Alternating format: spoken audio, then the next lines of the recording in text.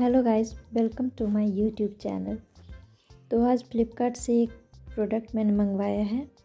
ये एक प्लास्टिक का टी टेबल है, जो कि स्वगत कंपनी का है, और इसकी पैकेजिंग काफ़ी अच्छी थी और ये काफ़ी अच्छे से मुझे रिसीव हुआ है।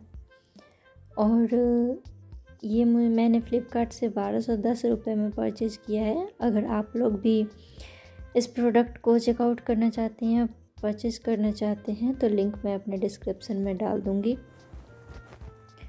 तो आप लोग इस वीडियो के डिस्क्रिप्शन में जाके देख सकते हैं कि ये प्रोडक्ट आप लोग को परचेज़ करना है या नहीं।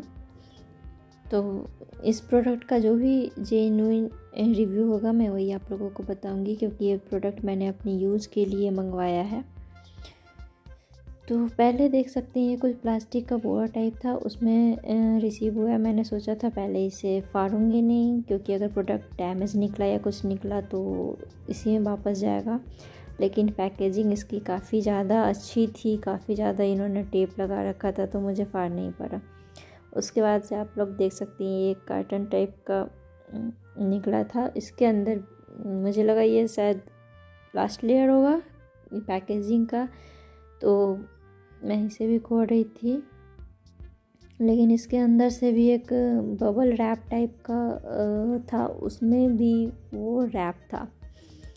मैंने इसे भी फाड़ दिया, क्योंकि ये खुल ही नहीं रहा था। तो जैसा कि आप लोग देख सकते हैं, इसे खोलने में मुझे काफ़ी प्रॉब्लम हो रहा था।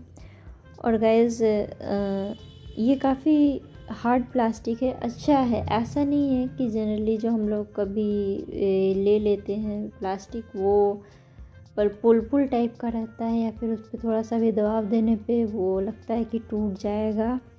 उस टाइप का नहीं था, काफ़ी अच्छा हार्ड प्लास्टिक है। और इसे लेने का एक ये भी अच्छी बात है कि जो लोग रेंटल हाउस में रहते हैं या फिर जिन्हें हमेशा मूव करना होता है कुछ कुछ दिनों पे जिनका ट्रांसफ़र वाले जॉब हैं या फिर मूव करना हो तो वो लोग ये ले सकते हैं। जैसा कि आप लोग देख सकते हैं कि इतना ईजिली पैक हो जाता है ये, और इसे असेंबल करने में भी कोई दिक्कत नहीं है।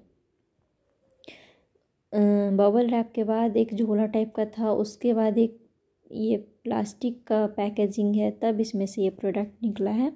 और मैंने इसे चेक किया कि कहीं कुछ स्क्रैच या फिर क्रैक तो नहीं है या डैमेज तो नहीं है, लेकिन नहीं, सब कुछ अच्छा था। तो फिर मैंने इसके सेलो टेप को निकाले और ये जो आप देख रहे हैं ऊपर में, ये पैर रखने के लिए लेयर है तो ये नीचे में फिक्स होगा। और इसके बाद इसके चार पैड हैं। जो कि आप इसमें स्क्रू वगैरह किसी चीज़ की ज़रूरत नहीं है ईज़िली उसे जो आपको एक होल दिख रहा है, उसमें बस फिट करना है। और एक चीज़ और गाइस इसे फिक्स जब करेंगे आप तो इसमें काफ़ी अच्छा से आपको पता चल जाएगा कि इसका कौन सा पार्ट ऊपर कर, रखना है, कौन सा नीचे। और जो वो पैर रखने वाला था मेरा सजेशन ये है कि जब आप एक पैर फिक्स करें तो उसे भी साथ साथ फिक्स करते चले। अदरवाइज़ अगर आप चारों पैर फिक्स कर लेंगे और तब उसे लगाएँगे तो थोड़ा सा प्रॉब्लम होता है। मेरे साथ ऐसा हुआ तो मुझे फिर सबको निकाल के फिर से लगाना पड़ा था। और गाइज़ मैं ये इसलिए बोल रही हूँ कि मूव करने वाले लोगों के लिए अच्छा है, क्योंकि अगर आप इंजीनियरिंग बोर्ड या फिर लकड़ी का टी टेबल या कॉफ़ी टेबल लेते तो एक तो हैवी होता है। दूसरा, उसे फिर से रीअसेंबल करने में काफ़ी प्रॉब्लम है। और ये भी लगता है कि इसे ले जाएँ तो कहीं टूट जाएगा या कुछ हो जाएगा और उसके प्राइस भी काफ़ी ज़्यादा होते हैं। तो देख सकते हैं इसका फाइनल लुक इस टाइप से आया है और कहीं भी कोई भी डैमेज नहीं था और काफ़ी साइनी प्लास्टिक है और काफ़ी हार्ड है। अच्छा है स्टर्डी है, मज़बूत है।